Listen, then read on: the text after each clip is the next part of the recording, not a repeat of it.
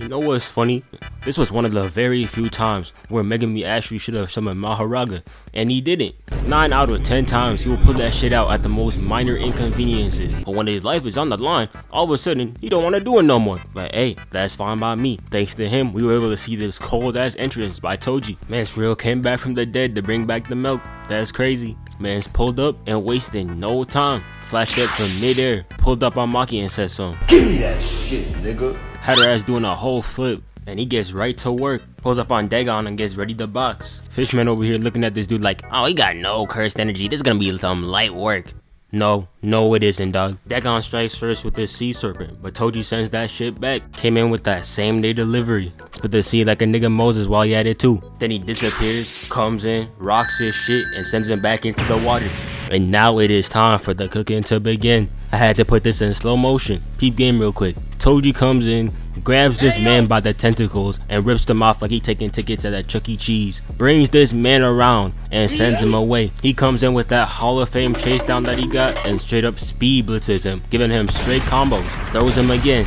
He runs up on him and this part was straight diabolical. Mans pulls up, loops around this man, and then sends him flying. Out here treating him like he's a toy. And Dagon's response to this violation is sending not one, not two, but three fish at Toji for a counter. Toji quite literally eats that shit and sends his ass away for that disrespect. And Dagon's like, if three fish didn't work, how about 300? Acting like Toji ain't turned the last one into bones. He blows through that like Hakari be blowing through money at the casino. Make sure there was nothing left. He tries to summon the sea snake again, but Toji stops that. So he decides to switch tactics and drown him. And look at Toji, man isn't even worried in the slightest. In true Jujutsu Kaisen fashion, he calls in the fish to jump this man, and then sends a sea king to end him.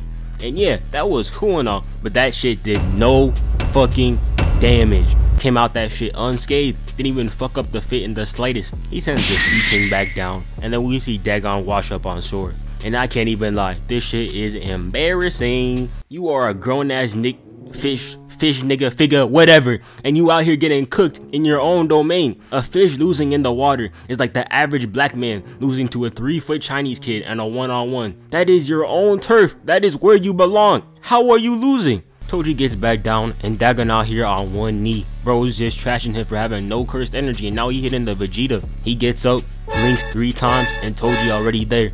Shit gotta be scary as fuck. Nigga out here moving like a jump scare. He tries to block with his water bending. But Toji reminds him he ain't a part of the team. Hits him with the right, snatches that shit, and then goes for the left. Then he adds one more for good measure. And now his ass wanna start backtracking. Crazy. He tries to use those fish for the upteenth time, but Toji sidesteps and hits this man with the nastiest rollover and snatch combo.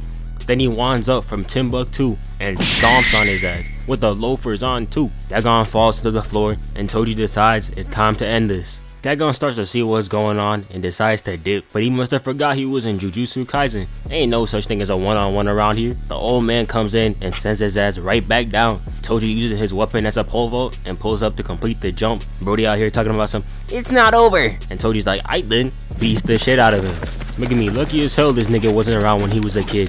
Them after school ass beatings would have been lethal. He finishes up and Dagon is now Dagon. okay, that sounded a lot better in my head. And yeah, that's basically it. Y'all already know what's up next week, so I'll see you then.